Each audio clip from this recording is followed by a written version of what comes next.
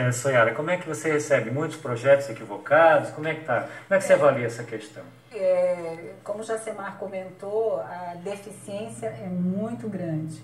Em prefeituras é, que têm já um efetivo maior, né, prefeituras um pouco maiores, eles já possuem uma equipe mais capacitada. Mas mesmo assim, ainda há projetos, sabe, com uma qualidade né, questionável. Uhum. E, e não é, às vezes, nem pela incapacidade dos profissionais, mas as demandas são tantas uhum. que eles não conseguem atender né, todos os requisitos para um bom projeto. Então isso ocorre muito. E os municípios pequenos realmente é porque às vezes não compensa o município ter um profissional, vamos supor, de engenharia ou de arquitetura, porque ele não, o salário vai, né, impactar demais na folha de pagamento e ele não tem demanda para ficar mantendo aquele, aquele profissional. Então ele se, ele se ele tem a possibilidade de buscar junto às associações dos, dos municípios, né, aquela associação, para poder desenvolver os projetos deles, né? Uhum.